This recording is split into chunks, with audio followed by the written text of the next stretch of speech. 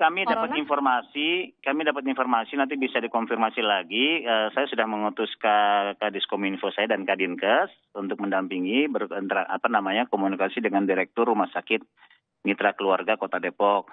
Informasinya ada 70 71 tenaga medis yang sempat berinteraksi dengan si pasien. Dan ini sementara untuk mengantisipasi hal-hal yang tidak kita inginkan di, di, dirumahkan oleh pihak rumah sakit Nah nanti uh, akan dilakukan pemeriksaan, pendataan juga kan rumahnya di mana, bisa saja dia orang Jakarta, bisa orang Bogor dan sekitarnya, atau di Bekasi mungkin juga ada. Untuk kita pantau nanti uh, kita lihat dan kita berkoordinasi tentunya dengan pihak aparat setempat ya. Kalau Bekasi ya dengan Bekasi seperti itu. Dan sudah dilakukan kontak dengan dinas-dinas apa dinas kesehatan setempat. Itu 71 tenaga medisnya ada di rumah sakit Depok di uh, mana Pak Idris kalau boleh tahu? Iya, mitra keluarga mitra keluarga. Yang menje ya, yang memberikan penjelasan direktur mitra sudah mengeluarkan edaran sejak Januari.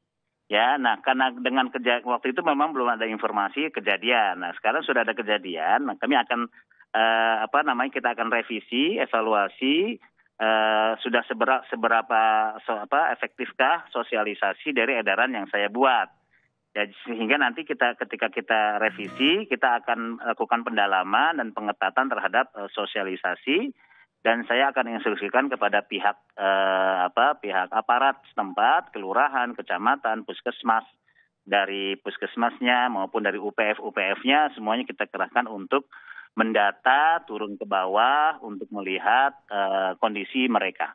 Seperti itu. Ini pertama. Yang kedua tentunya kita menghimbau kepada seluruh masyarakat warga Depok Ya intinya ini kan masalahnya virus. Nah virus ini sangat terkait dengan masalah ketahanan tubuh kita. Nah ketahanan tubuh kita ini sangat terkait dengan masalah misalnya tidur yang cukup, cuci tangan ketika dari luar dari mana pun dengan sabun ya, cuci tangan dengan sabun sehingga bersih sehat. Yang ketiga tentunya eh, bagi yang, yang terbiasa yang apa merokok si perokok nih ini kalau bisa syukur-syukur bisa stop merokok karena dengan merokok akan mengurangi daya tahan tubuh kita.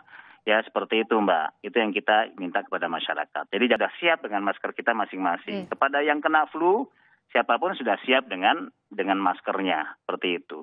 Nah nanti akan kita evaluasi lagi nanti ketika setelah kunjungan Pak Gubernur, kunjungan Pak Menteri, kita berkoordinasi tindakan-tindakan apa menurut uh, kita minta arahan dari mereka. Terima kasih sudah nonton. Jangan lupa like, subscribe, dan share ya.